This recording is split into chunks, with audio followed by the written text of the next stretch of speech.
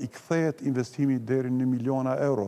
Një gjë e tillë nuk ndodh në Kosovë dhe ajo çka është vërtet më shqetësuese, në qoftë se diaspora jonë që e ka një potencial enorm investues, nuk e ka një komoditet apo nuk e gjen të arsyeshme për të investuar në Kosovë, kush dhe si do të vijnë të huajt. Prandaj besoj që është koha kur duhet problemin ta pranojmë si problem.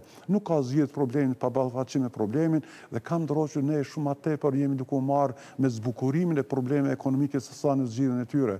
Është vërtet sot shqetësuese t'i ndëgjosh do thotë këta parametra kur dihet fare mirë që vërtet rastet sociale dhe aspekti social në Kosovë çdo ditë është më i vështirë.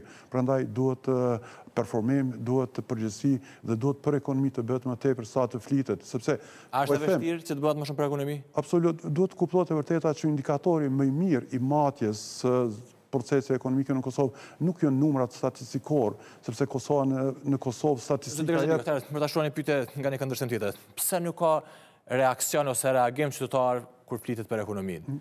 Pse domethënë edhe emisionet, edhe debatet, nëpër fakultete, në tryeza të ndryshme, nuk zgjojnë interes tek shikuesit, tek ndjekësit, tek askush Ndoshta edhe politika pastaj nuk merret fare me këtë çështje. Pse po, ndodh kjo? Po, në anën tjetër të gjithë ankohen se nuk kanë ose para ose jetojnë në kushte të vështira.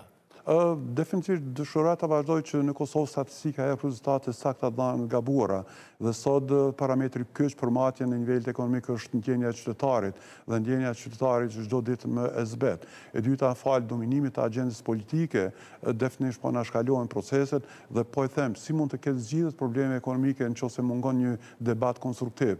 Dhe po e shihni sot keni debate të cilat kanë shumë më tepër qasje dhe tematikë politike se sa ekonomike. Mu më gëzon fakti kur ndëgjoj shkrime vetanake, por definitivisht sot në qoftë se nuk je me ne je kundër nesh dhe kam dro që me kalimin e kohës po heshtin dhe po shuhen edhe zërat kritikë të cilët japin rekomandime. Dhe kur e sheh që do thotë do të mbetesh i izoluar pse kundërshton me argumente, është një moment që po i demotivon apo po i deinkurajon njerëzit dhe ekspertat e fushave të caktuara që të dalin me propozime dhe rezultate konkrete.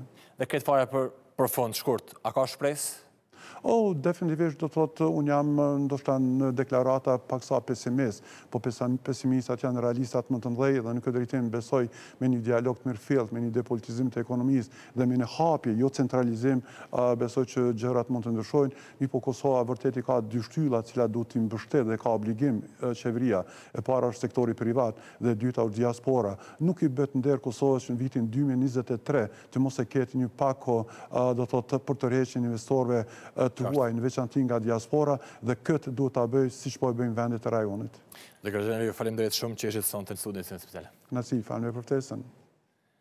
Do të ndrojmë tani temë, për 18 orë u kërkua, por pas kaq kohësh, katërvjeçari Yll Shala u gjet i vdekur. Zhytësit e FSK-së arritën ta nxjerrin atë nga kanali i lumit Ibër-Lepenc në Bukosh të Vushtrrisë.